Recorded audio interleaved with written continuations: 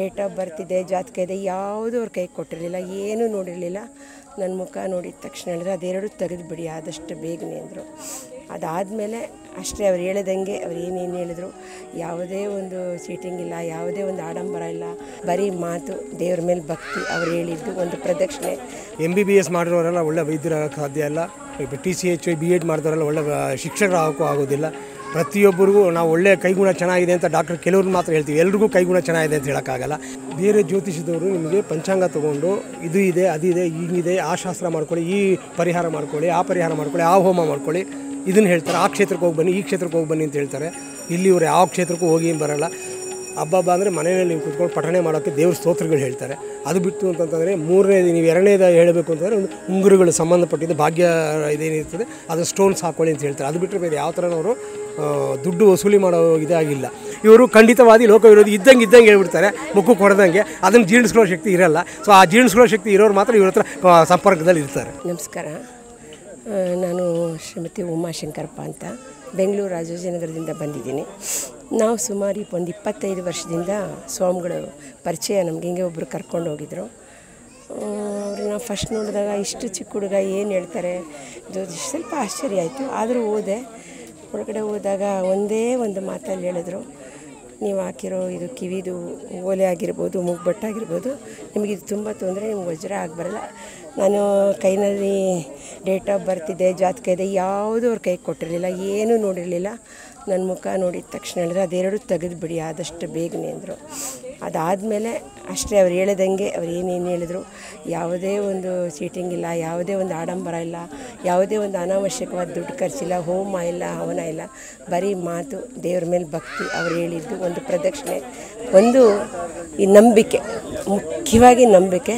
ಇಪ್ಪತ್ತೈದು ವರ್ಷದಿಂದ ನಾನು, ನನ್ನ ಫ್ಯಾಮಿಲಿ, ನನ್ನ ಮಗ, ನನ್ನ ಸೊಸೆ, ಇವತ್ತೆರಡು ಮೊಮ್ಮಕ್ಕಳು, ಅವಳಿ ಜವಳಿ. ಭಾಳ ಖುಷಿಯಾಗತ್ತೆ. ಇವತ್ತು ದೇವಸ್ಥಾನ ಆಯಿತು, ನಮ್ಗೆ ಇಚ್ಛೆ ಇತ್ತು. ಹೇಳಿದರು ದೇವಸ್ಥಾನ ಮಾಡಬೇಕು ಅಂತ ಎಲ್ಲ ನನ್ನ ಕಣ್ಮುಂದೆ ನಡೀತು. ಭಾಳ ಸಂತೋಷ ಪಡ್ತಾ ಇದ್ದೀವಿ. ಇವತ್ತು ನನ್ನ ಮಗ ಒಂದು ಒಳ್ಳೆ ಸ್ಥಾನದಲ್ಲಿ ಇರಬೇಕಾದ್ರೆ, ಅವನು ಓದಬೇಕಾದ್ರೆ ಎಲ್ಲಕ್ಕೂ ಅವರೇ ಕಾರಣ. ಒಳ್ಳೆ ಸೊಸೆ ಬಂದಳು ಮನೆಗೆ, ಒಳ್ಳೆ ಎರಡು ಮೊಮ್ಮಕ್ಕಳು. ಇವತ್ತು ಭಾಳ ಖುಷಿಯಿಂದ ದೇವಸ್ಥಾನಕ್ಕೆ ಬಂದು ಹೋದ ವರ್ಷ, ಹೋದ ಸಲನೂ ಬಂದಿದೆ. ಈ ಸಲ ದೀಪ ಹಚ್ಚಿ ಒಂದು ಬೇಡಿಕೆ ಸಲ್ಲಿಸ್ಬೇಕು. ಇರುತ್ತಲ್ಲ ಸಣ್ಣ ಪುಟ್ಟ ತೊಂದರೆಗಳು ಅದಕ್ಕೆ ಇದು ಬೂದುಗುಂಬಳಕಾಯಿ ದೀಪ ಹಚ್ಚಿದ್ರೆ ಎಲ್ಲ ದೃಷ್ಟಿ ಪರಿಹಾರ ಆಗುತ್ತೆ ಅಂದರು. ಅದಕ್ಕೋಸ್ಕರ ಇವತ್ತು ಮಗನ ಜೊತೆ ಬಂದಿದ್ದೀವಿ. ಮುಂದೆ ಸ್ವಲ್ಪ ಮಕ್ಕಳಿನ ಚಿಕ್ಕವು, ಸ್ವಲ್ಪ ದಿನ ಆದಮೇಲೆ ಮೊಮ್ಮಕ್ಕಳನ್ನೂ ಸೊಸೆನೇ ಎಲ್ಲರೂ ಕರ್ಕೊಂಬರ್ತೀವಿ ನಂಬಿದವ್ರಿಗೆ ಭಯ ಇಲ್ಲ. ಪ್ರತ್ಯಕ್ಷವಾಗಿ ನಾನು ಕಂಡಿರೋದು ಈ ಸಣ್ಣ ವಯಸ್ಸಿನಲ್ಲಿ ಯಾವುದೇ ಒಂದು ಮೋಸ ಇಲ್ಲದೆ ಯಾವುದೇ ಒಂದು ಇದಿಲ್ಲದೆ ನಮಗೆ ಇಲ್ಲಿವರೆಗೂ ಕರ್ಕೊಂಬಂದಿದ್ದಾರೆ ಯಾವ ರೀತಿ ಒಂದು ದುಡ್ಡಿಂದು ಇದಾಗಲಿ ಆಗಿಲ್ಲ, ಎಲ್ಲ ತಾಪತ್ರಯಗಳು ಕರಗಿದೆ. ಆದರೆ ಇರುತ್ತೆ ಸಣ್ಣ ಪುಟ್ಟದು ಅದನ್ನು ಅವರೇ ಪರಿಹಾರ ಮಾಡಿಕೊಡ್ತಾರೆ. ಸಿಂಪಲ್ಲಾಗಿ ಒಂದು ಹೇಳ್ತಾರೆ, ಅದನ್ನು ಫಾಲೋ ಮಾಡಿದ್ರೆ ಸಾಕು.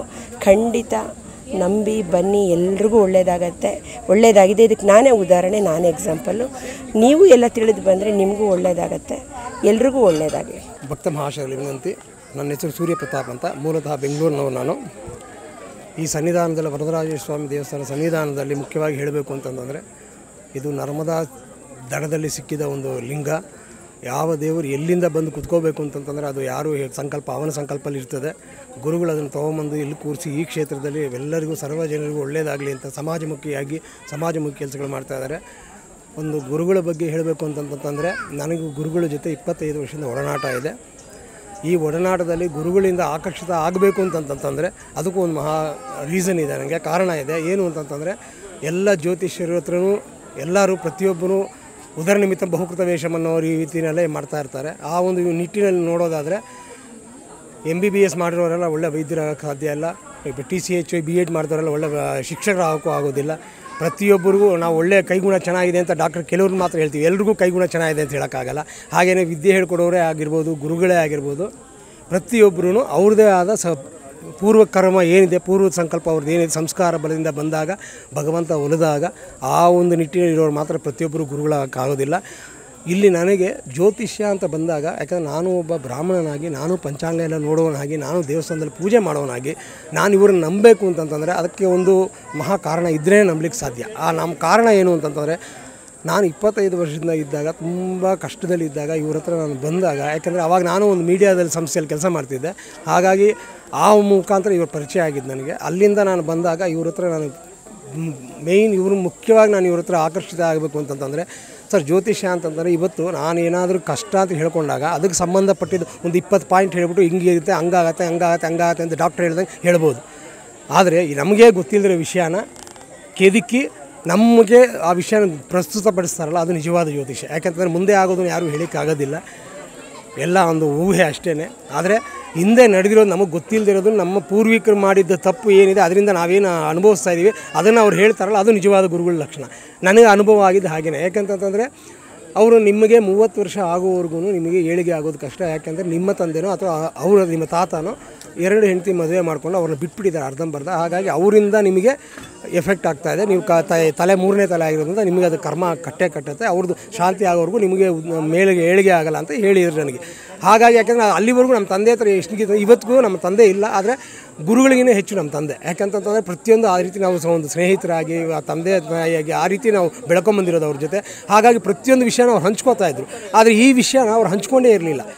ನಾನು ಅದಕ್ಕೆ ಇವರು ಹೇಳಿದಾಗ ಇವ್ರು ಹಿಂಗೆ ಆಗಿದೆ ಸರ್, ನಾನು ನೀವು ಏನಾದರೂ ಸುಳ್ಳು ಅಂತಂದರೆ ನಾನು ಇದು ಹೇಳೋದೇ ಬಿಟ್ಬಿಡ್ತೀನಿ ಅಂತಂತಂದರು.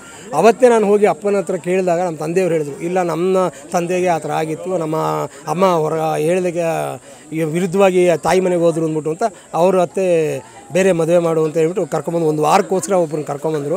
ಅವರಿಂದ ನಮ್ಮ ತಾತನ ಕಾಯಿಲೆ ಬಂದು ಆಮೇಲೆ ನಾಟಿ ವೈದ್ಯರು, ಇವತ್ತೆಲ್ಲ ತುಂಬ ದೊಡ್ಡ ದೊಡ್ಡ ವೈದ್ಯರು ಇದ್ದಿಲ್ಲ ಅವತ್ತು ನಾಟಿ ವೈದ್ಯರಿದ್ದರು ಫಸ್ಟ್ ಅವ್ರು ಸವಾಸ ಬಿಡು ಅಂದರು. ಒಂದು ವಾರಕ್ಕೆ ಅವ್ನು ಬಿಟ್ಬಿಟ್ರು. ಮತ್ತೆ ಹೋಗಿ ನಮ್ಮ ಅಜ್ಜಿನ ಕರ್ಕೊಂಬಂದರು. ಅಲ್ಲಿಂದ ಈಚೆಗೆ ಅವರು ಬಿಟ್ಟಿದ್ದಕ್ಕೋಸ್ಕರ ಅವ್ರದ್ದು ಆತ್ಮ ಏನಿದೆ, ಅದರಿಂದ ನಮಗೆ ತಲೆ ಆಗಿರೋದನ್ನ ಮೂರನೇ ಥರ ಅದನ್ನು ನಾವು ಅನುಭವಿಸ್ತಾರ ಆಯಿತು.